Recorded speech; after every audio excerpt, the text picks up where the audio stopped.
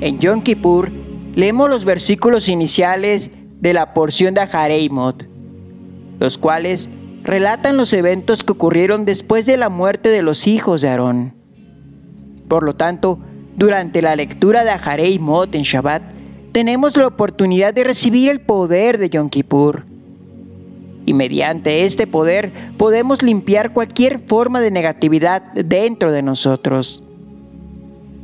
No obstante, como todo, hay términos y condiciones en la espiritualidad.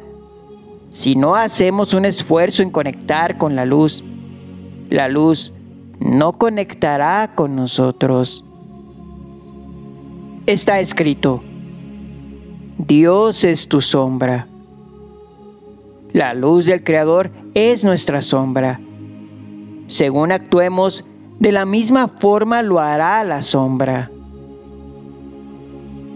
Con respecto a la porción de Jareimot, el gran cabalista Rab Elimelech de Lisnek explica en su libro Noan Elimelech que el sadik, el justo, puede transformar el juicio en misericordia. Aunque una persona tenga una sentencia de muerte, el sadik tiene el poder de cambiarla por vida.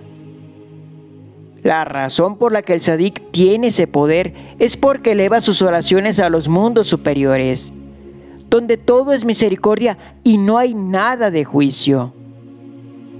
En ese nivel, esta sentencia de muerte no existe. Desde allí, el sadik atrae vida para esa persona. Entonces ahora, estoy seguro de que te estás preguntando, ¿qué tiene que ver eso conmigo?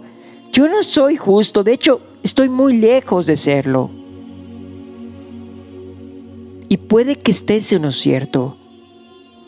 Sin embargo, cuando Rab Elimelech de Lisnek habla de Sadik, se refiere a todos nosotros.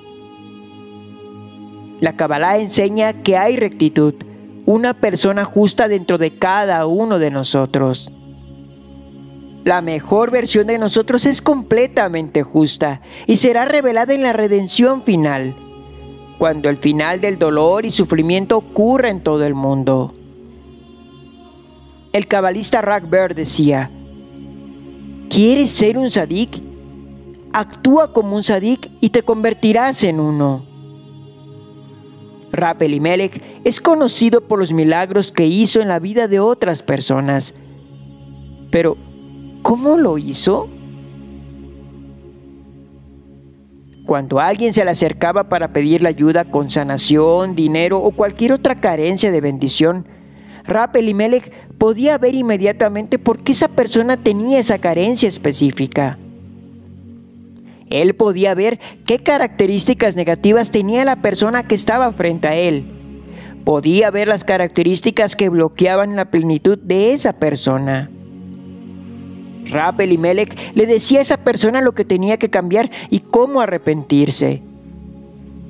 Sin embargo, Rab Elimelech también se decía, si veo esa negatividad en otra persona, significa que yo también la tengo.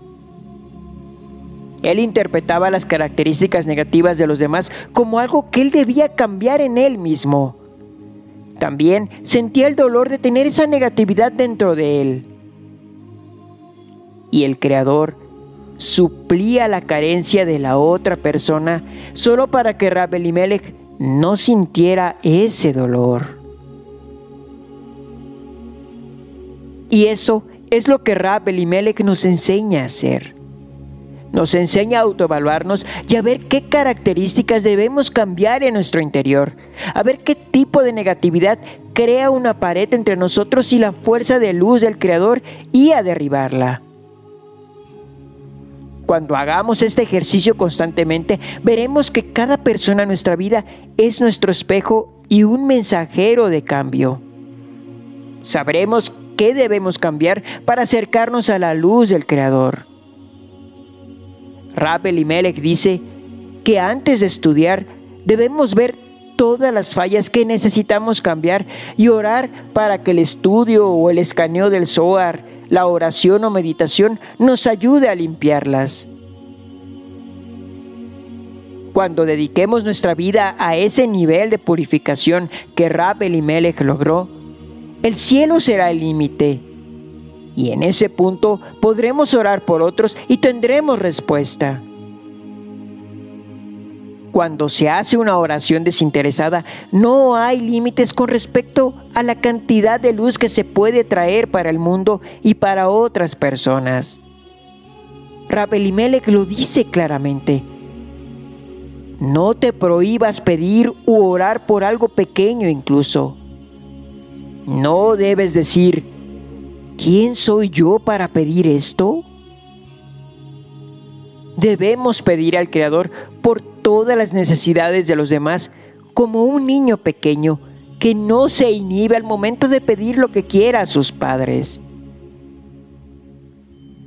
Cuando buscas constantemente lo que debes cambiar, observando tus características en los demás y teniendo el deseo de eliminar las cortinas entre la fuerza de luz del Creador y tú, vas totalmente en contra de tu naturaleza.